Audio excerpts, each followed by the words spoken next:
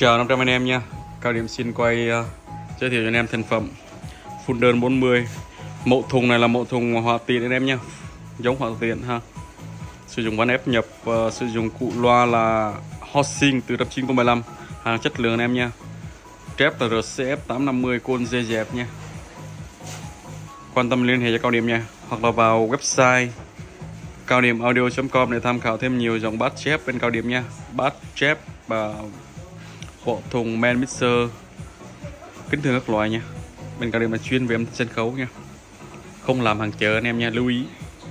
Và bên cao điểm ráp cái gì cũng phải cần lượng khách hàng phải biết rõ là những cái hàng mình ráp là những cái loa gì và bát gì, trép gì.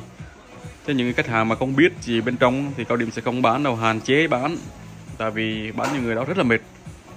Một khi mà người ta không biết thì à, mình phải tư vấn cho người ta, anh hiểu không? Anh em hiểu không?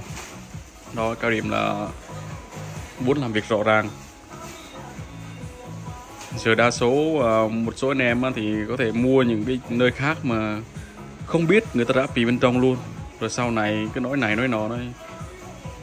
À, chê này chê nhỏ lắm không được. Cao điểm là muốn là những khách hàng đến với mình phải biết ráp bát gì đáp gì bộ thùng như thế nào phân tần gì anh em có thể mua rời hoặc là có điểm thể ráp để lấy tiền công. Đó, rõ ràng. Làm việc với mình rõ ràng. Lâu dài chẳng phải bán một hai bữa là nghỉ tết nghỉ đồ đâu anh em nhé hàng rất đẹp anh em nha. Lưới tí mình quay đổ lưới bên kia rồi. Rồi xin chào 500 anh em nha. Bên cao điểm có trả góp và trả trước 30 phần trăm. Đơn hàng là trên 3 triệu và dưới 30 triệu là có trả góp anh em cả góp là đến trực tiếp để ký hồ sơ và duyệt hồ sơ qua online.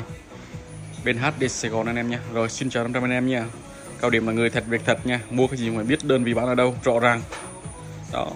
Đâu phải là mình bóc bang bang đi hỏi cái là mua liền là bị dễ bị dính lừa anh em nha cao điểm mới rõ ràng rồi anh em nha người mua lừa người bán à, người mua thì hay bị lầm, nhưng người bán không bao giờ lầm. Anh em nên nhớ.